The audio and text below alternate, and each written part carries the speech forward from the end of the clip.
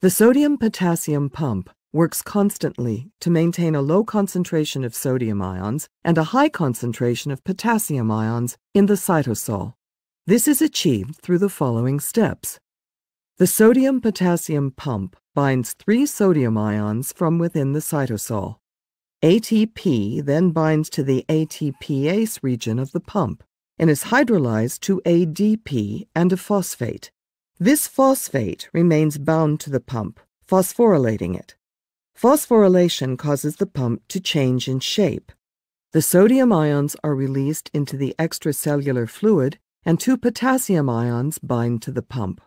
The phosphate group is then freed from the pump, causing the pump to return to its original shape and release the potassium ions into the cytosol.